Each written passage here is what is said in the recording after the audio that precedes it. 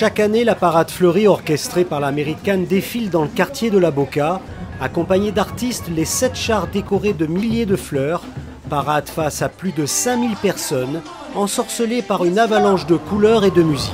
Super, c'était magnifique, très très beau. C'est important parce qu'on se retrouve, c'est la fête, c'est la convivialité, c'est le partage. Et c'est tellement important pour nous après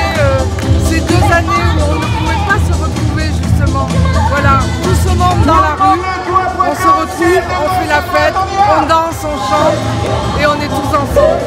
C'est ça Cannes. Les 7000 fleurs ont été ensuite distribuées aux spectateurs.